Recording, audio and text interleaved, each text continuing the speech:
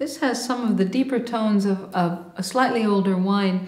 And in fact, in, in nose, I, I find uh, very plummy notes, which comes with uh, a bit of age, but also notes of, of coffee, a tiny bit of tobacco, but uh, leather. It's, it's, a, it's a, a rich wine to the, to the nose and in mouth. It, again, it doesn't disappoint me. It's got good structure. Uh, it's smooth, but good acidity, uh, so good balance. It has a very elegant finish to it. It's a nice hearty wine, but not heavy.